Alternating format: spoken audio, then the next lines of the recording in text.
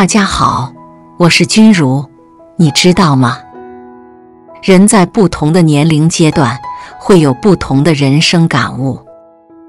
年轻时大多心高气傲、争强好胜，向往热闹与浮华。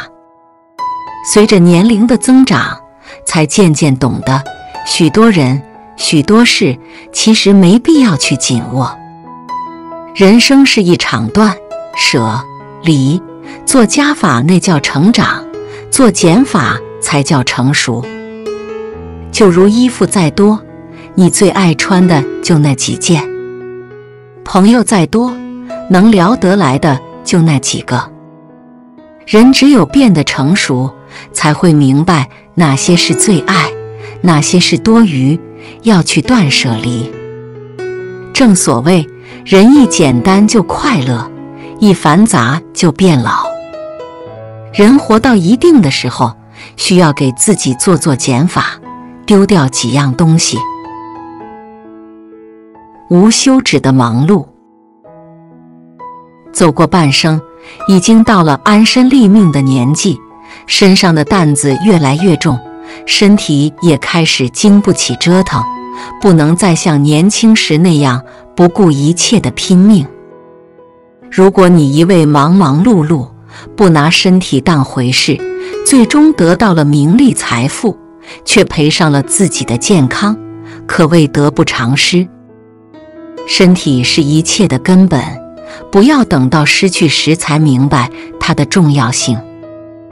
人到中年，适当的放慢脚步，别把自己逼得太紧。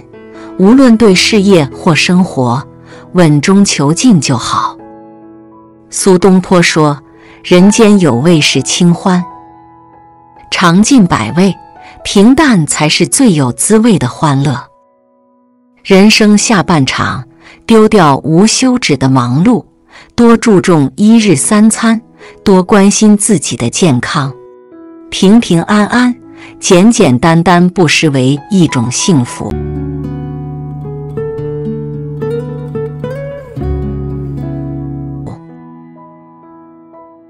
习惯性的抱怨，生活中遇到不顺心的事，抱怨一两次可以理解，但整日不停的抱怨。不仅会惹人厌烦，还会拖垮自己的人生。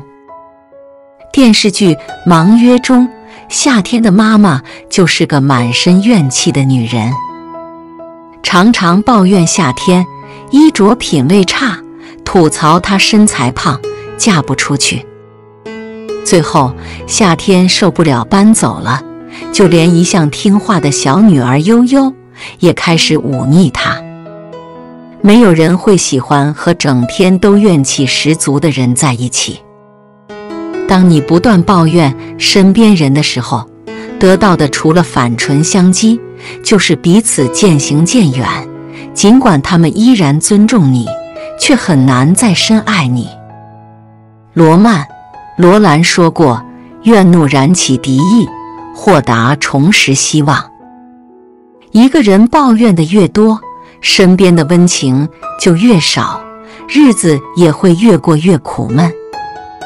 真正聪明的人懂得丢掉习惯性的抱怨，以积极乐观的心态去感受生活美好的一面。虚情假意的朋友，年轻的时候不懂人心难测，总以为多个朋友就多条路，不管喜不喜欢。都去广泛结交，强颜欢笑。当看多了世态炎凉，经历多了世事无常，才明白建立在利益之上的关系，终究经不起考验，也必然无法长久。北宋诗人范仲淹在仕途得意时，门庭若市；而当得罪朝廷，遭受贬谪。那些平日里的好友纷纷避而远之，生怕受到牵连。只有王志不计个人利害得失，抱病前去给范仲淹送行，一直送到城门外。此时谁是真情，谁是假意，一目了然。真诚的朋友，以意相交，能锦上添花，更能雪中送炭。在你遇到困境时，伸出援手，只要你有需要，就会力所能及的陪伴。而虚假的朋友，以势相交，在你得意之时，与你称兄道弟，谈笑风生；一旦你落难，便树倒猢狲散，要么冷眼旁观，要么落井下石。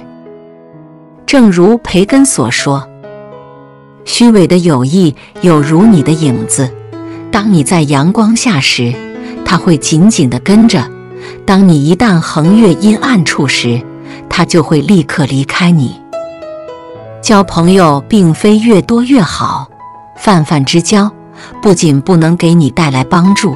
还会给你添堵。往后学会丢掉虚情假意的朋友，一辈子结交两三知己就足矣。不珍惜你的人，看过泰国一个非常火的视频，其中印象最深的是女主被男友各种伤害，一开始她处处妥协退让。后来逐渐看清了对方的面目，于是理智地选择了离开，去开始自己新的生活。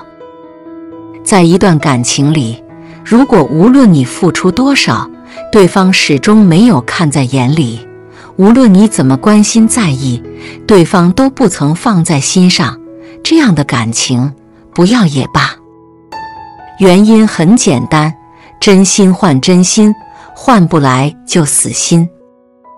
一个不把你当回事的人，你的深情或付出，你的难过或委屈，都是一个人的独角戏，最终只会让自己伤痕累累。任何好的感情都是有来有往，你情深，他意重，彼此相互认可，相互扶持，才能天长地久。世上没有谁离不开谁，只有谁不懂得珍惜谁。不对等的爱，何苦去犯傻？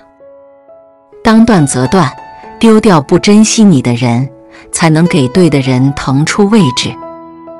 人生下半场，该丢掉的东西就不要再留恋。少即是多，捡才为真。真正幸福的人生。从来不是繁杂的，而是删繁就简。前行路上，舍弃让你心累的人和事，你会发现，目光所及皆是风景。今天的分享就到这里。如果你也喜欢这篇文章，并且让你深有感触，希望你能点赞或留言，表达您真实的感受，并且分享给身边的人。最后，让我们成为更好的自己。感谢你们的收看，我们下期再见。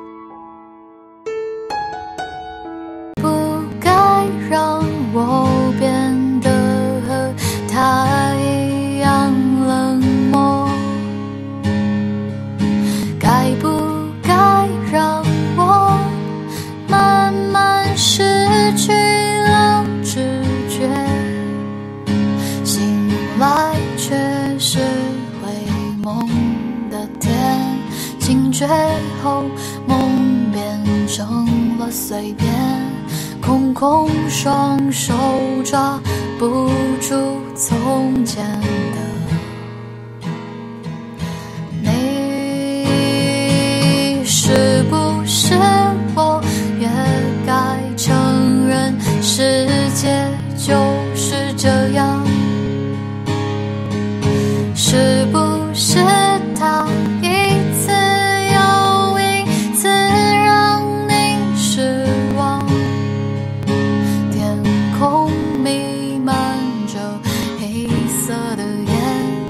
笑声淹没了地平线，有谁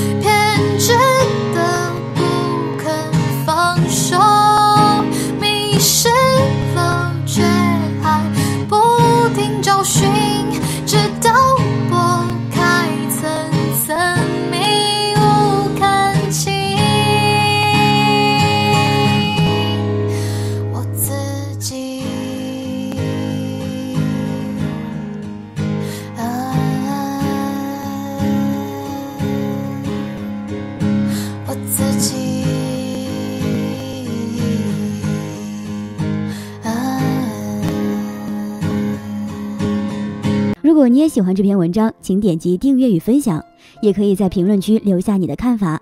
感谢您的收看，我们下期再见。